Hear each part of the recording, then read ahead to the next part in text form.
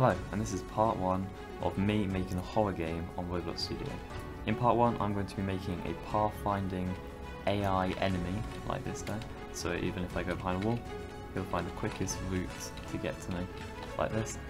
And yeah, we'll just get straight into it. Okay, so the first thing you want to do is go to plugins, build rig, and import a, a mesh rig or a block rig, whatever you want as your villain or your your enemy. Now, they, um, he, we're not actually going to see a lot of them. Um, we're just going to call them, or them, a creature. Um, yeah, we won't see a lot of them. They might just be like near the end, I'm thinking. So I don't want it to be too much like, like Granny or Piggy. So, okay, once you've got this, we're going to get an, an animate script, which I'm just going to get from another game that I have. And I'll put it in the description and yeah, essentially it's it's like it's the usual one. I think uh, the way you can get it is if you press play to play it, and then the animate is here. That's that's one way to get it. But what I'm going to do is I'm, I'm just going to use this one, and yeah, I'll put it in the description. Okay. Okay, so now we're going to add in a script. I'll name it the main script, and then the variables. Now I will, I must say I've got the, this script I've kind of made myself by using the dev hub and GnomeCode. So thank you both.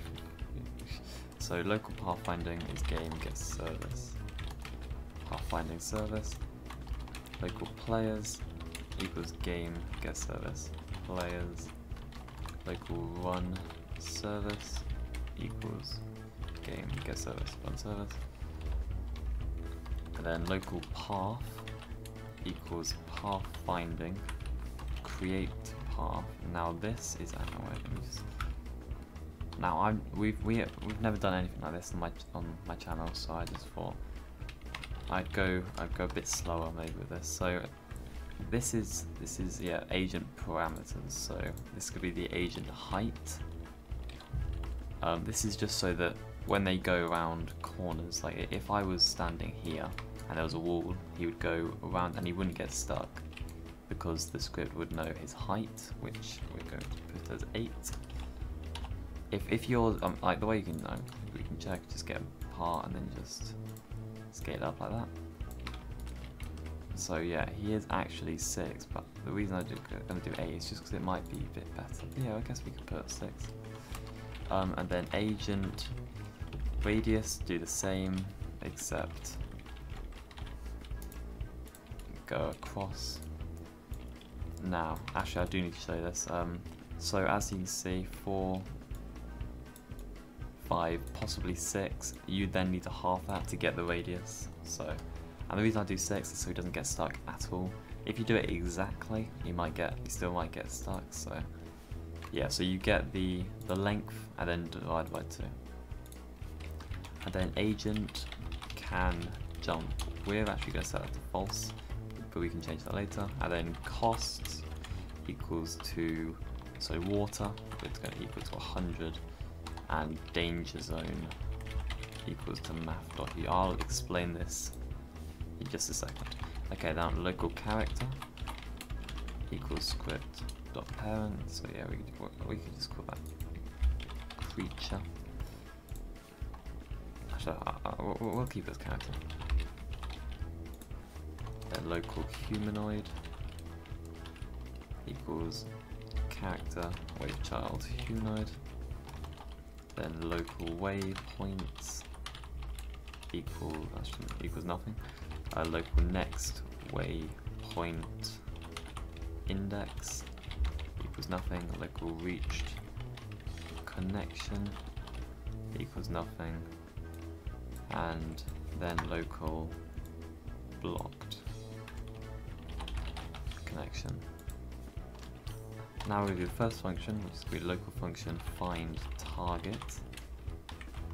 And that's going to be so the local max distance, we, we might set to 500 or something, because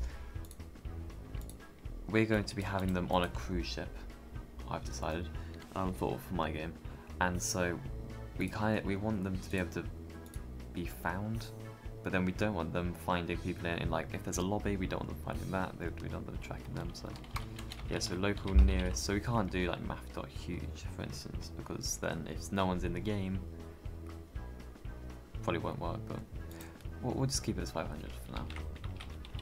So nearest target, you can just leave that like that, and then for index, player in pairs, players, get players, do. If player dot character then local target equals player dot character. Local distance equals character dot humanoid root part dot position minus target dot humanoid root part dot position and then at the end it's going to add dot magnitude. Because that it, it just makes it work. I, I think it changes the vector free to a single number which we will be using now actually. If distance is less than max distance, so it's, it's easier than going if distance select is less than vector free on you, which it just gets confusing. Okay, so then nearest target equals target, and the most important thing, max distance equals the new distance. So now, if let's say I'm getting chased by this creature, and then one of my friends comes along who's even closer to the creature, it will lock on them instead of continue with me. And then, okay, so I'm just going to go after this end. Um, if distance is smaller than 3 or 5, then we're going to attack. So nearest target, dot humanoid, take damage. You can just kill it, but um, like kill the player, but I think it might be interesting if they just take damage for now. And then at the end of this, we're going to return the nearest target. Now after this we're going to do a local function which is going to be follow path and to the destination and so local success error message. If you recognize this we used this when we did um, data saving. And so we're going to do path compute async character dot primary part dot position destination.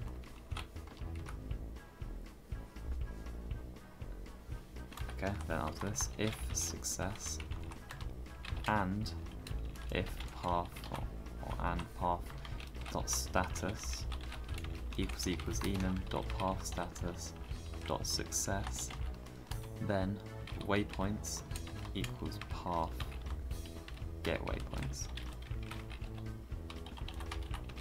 So it's pretty much so like um as it's running, it'll it'll create a new path with different like part like, like different waypoints, as it says here, different get waypoints, and we just add a add brackets there.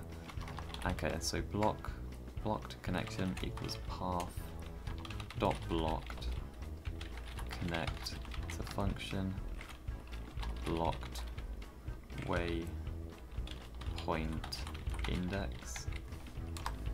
If block waypoint index is is bigger or equal to next waypoint index then blocked connection disconnect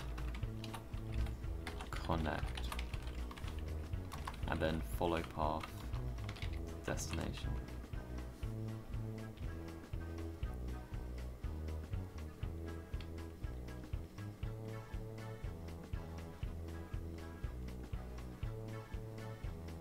It's not happy with that because it's there's nothing in like equal to it but believe me it, it should work hopefully. Okay and then so if not reached connection then oh then then um, reached connection equals humanoid move to finished connect to function reached. Then if reached and next waypoint index is smaller than number of waypoints, then next waypoint index plus equals 1 and humanoid move to waypoints next waypoint index dot position. Okay or else we're going to do reach reach connect reach connection disconnect. Disconnect and we're going to do the exact same exact for blocked connection.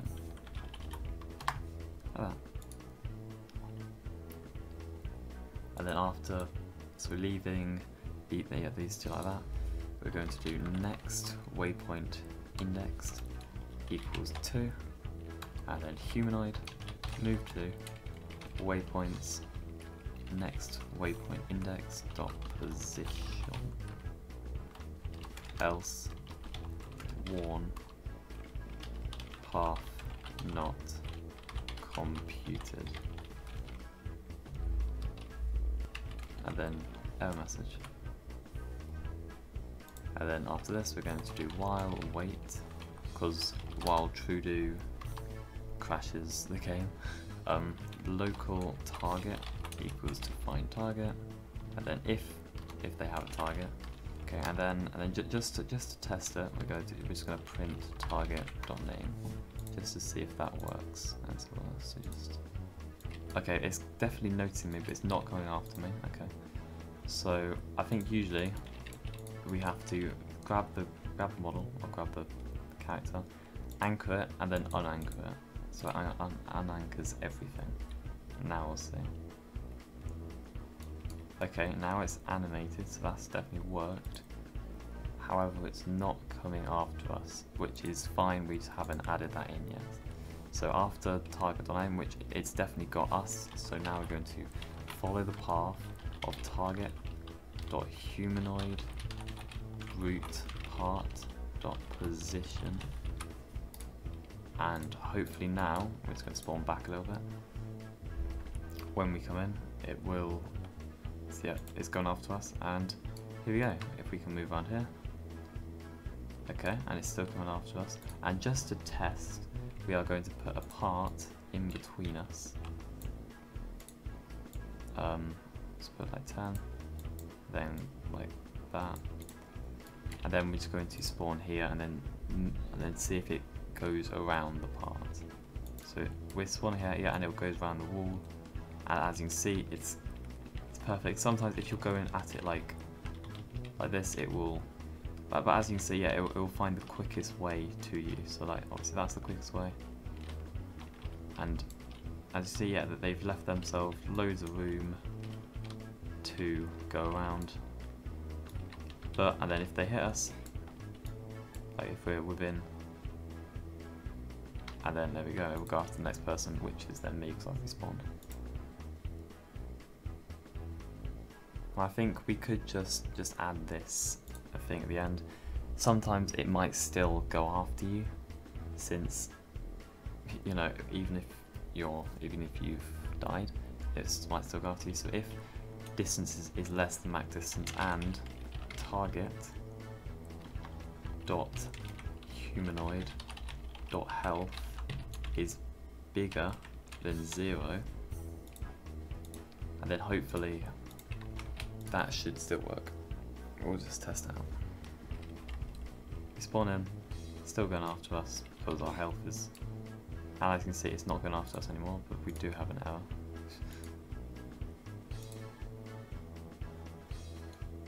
Okay, that, that might just glitch it a little bit, but it does work. Nearest target, dot. Okay, I'll tell you what, we'll, we'll, we'll get rid of this. Again, it, it, it might it might work, it might it might still work. But yeah, it's complete. It, it's if it doesn't work, you can just add that in. Because I don't think I just don't like errors. It, it doesn't. It will still work. But okay. Well, that is the end of the video. Um, that's pathfinding. That's the first time I've done it on the channel, and I'm very new to it. I've been experimenting it with it for games I'm thinking of making, trying to make, including this one. So yeah, I have taken some of the code from the Dev Hub, which are obviously free to use, so is YouTube, um, from GnomeCode. So thank you to both both of them. Um, yeah, as I said, I'm quite new to this, so that's why. And yeah, so hopefully I'll be doing more like stuff like this. Where in the next video, I'll be doing some like I'll be doing like the keys and and doors and making like a, door door actually swing open instead of just teleporting open. Just using tweens and stuff. And so yeah, I'll, I'll see you in that. I'll see you in that video. See you in that video. See ya.